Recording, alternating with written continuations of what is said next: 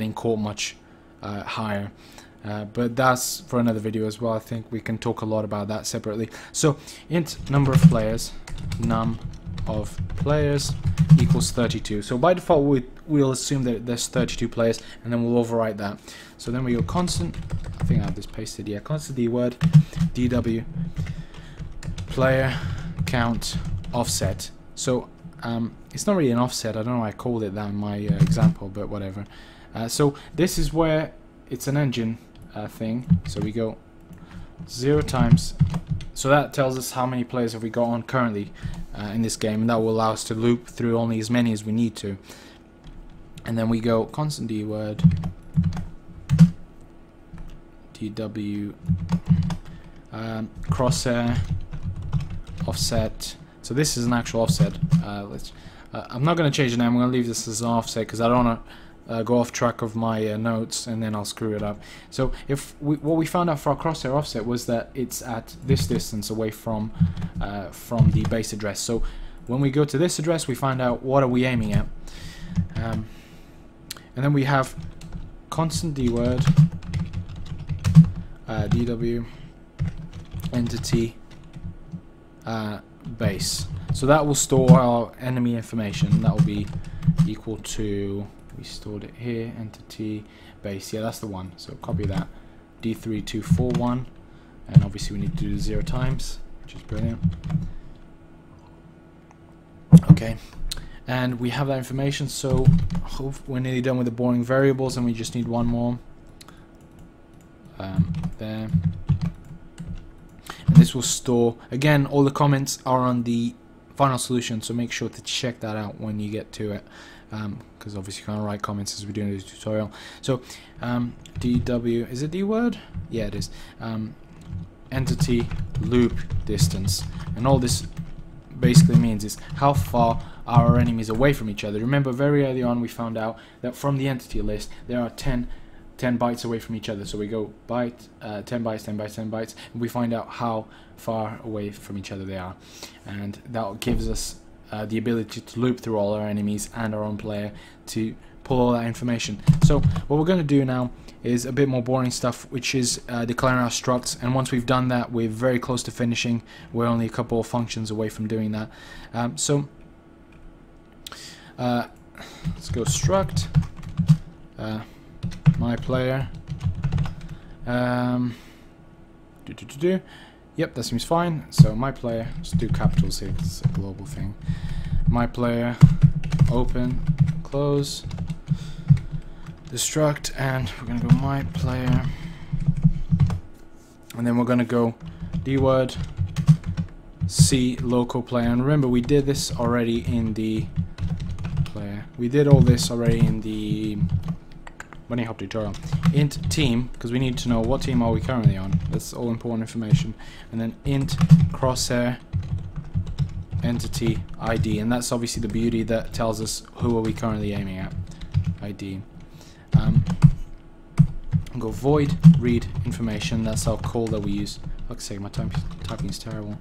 Uh, void read information. We're going to do that. Um, so that's fine. What's wrong with that? Oh yeah, missing semicolon. Um, so read information and we go, uh, oh this is boring, I hate doing read process memories. Read, process, waste my time, uh, and then we go f process, which did we declare at the top? Yeah we did. Uh, f process dot, where did we declare this? I'm trying to remember. Oh I think it's part of the class isn't it?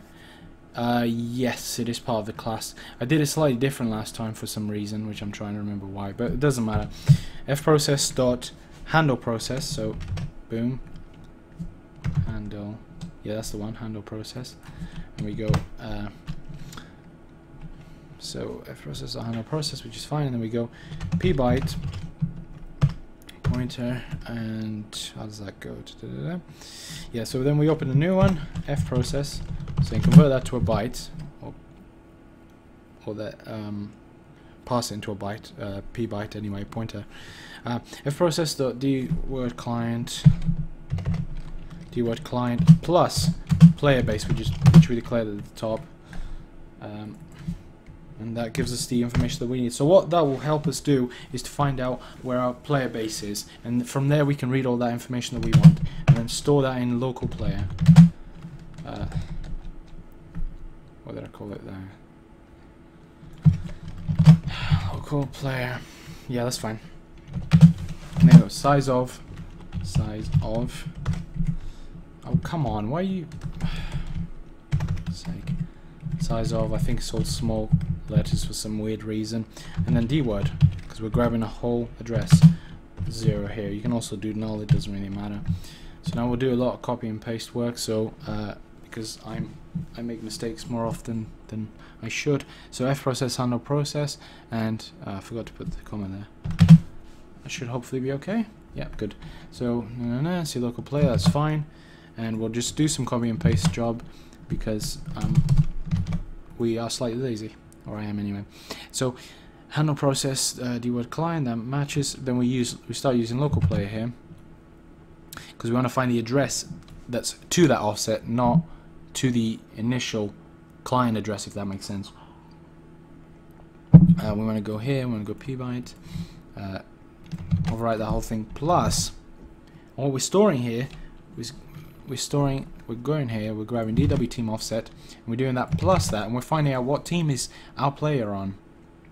Okay, and we store that in our team variable and team uh, team variable, which is fine, and that size of is an integer, so we need to store that number 3 or whatever number it is that, that matches our player. And then we go, um, so write comments if you like as you're doing this. Uh, I guess it says team there anyway, so don't need to write that. So the next one that we need to grab is our crosshair offset. So UW crosshair offset, and what that stores is well, who are we aiming at? um, and we want to store that in uh, crosshair entity ID. Yeah, there it is. Uh, size of it's an integer as well. Yep, which makes it good. Um, good stuff. Crosshair, fine, no problem. Uh, and then here we have a final one, which is how many players are we dealing with? Now, this um, I'm not too happy about the fact that I did this here for players, but it's not really a big deal. My guess would be to run this bit of read process memory on the timer and it really doesn't belong here on my player data but you know um, it, it, doesn't matter a huge deal. So the reason for that is num of yeah so as you can see here we're storing the number of players in the game. And make sure you do so copy that. Ah fuck's sake I gotta stop being a copy and paste noob.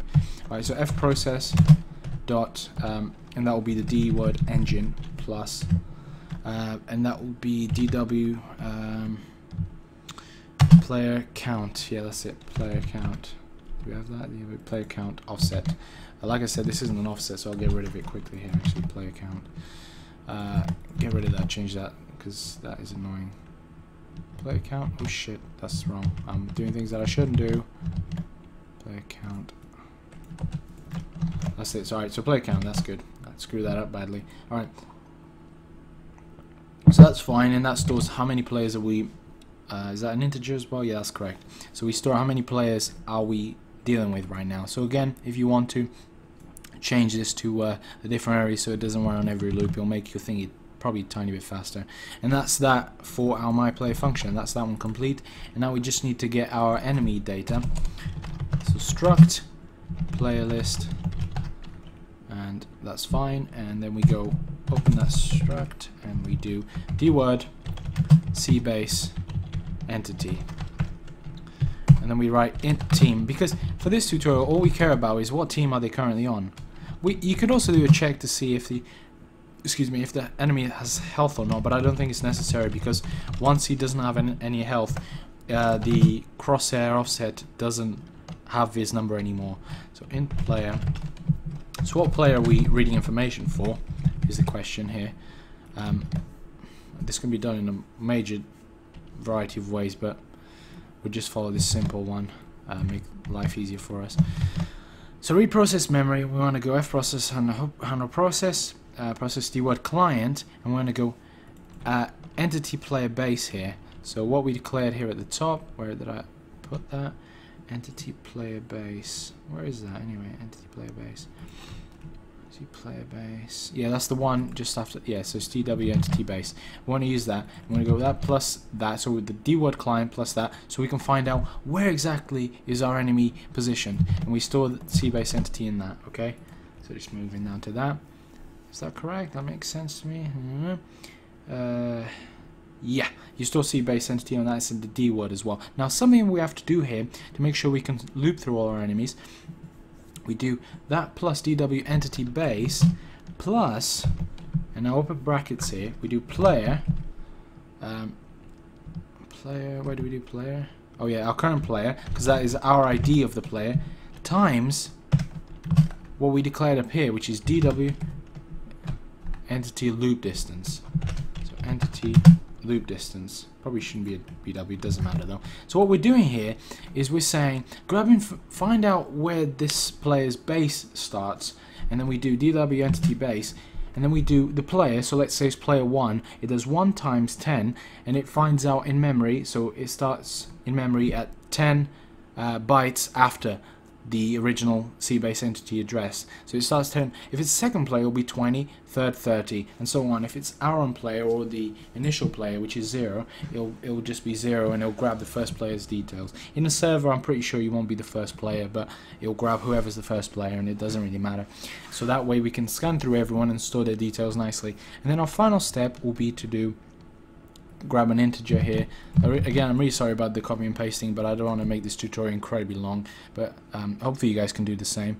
Um, so the last bit of information that we're grabbing here is what team are, is our player in. So um, are they in, you know, counter-terrorists or terrorists? So we're going to grab that. So it's an integer we're grabbing here. We're grabbing team, change that to team, and we want to know.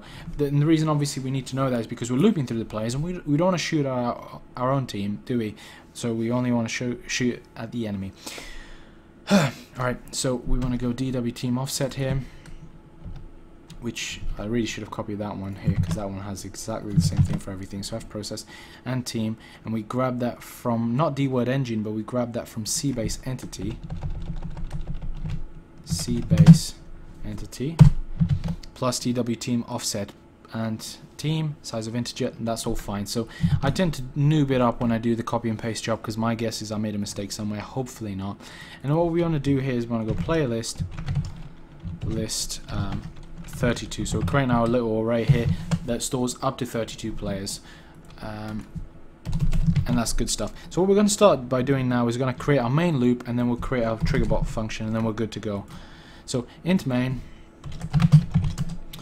is what you want to do. Void main, it doesn't really matter. You want to go f process dot run process, and that what that does is it sets up our CSS and makes sure that make sure makes sure fucking hell make sure that Counter Strike is running and that we can uh, hook into it.